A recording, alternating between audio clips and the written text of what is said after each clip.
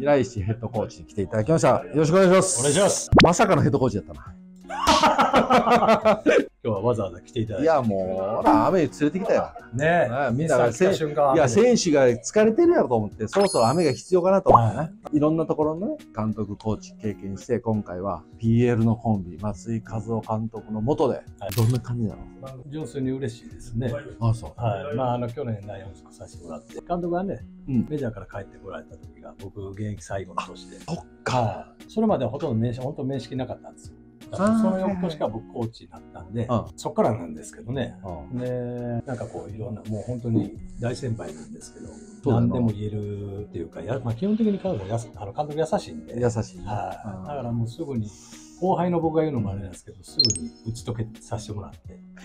はいいや、多分ね、あのー、平石ヘッドには誰も文句が言えないような、そういう空気は持ってるから、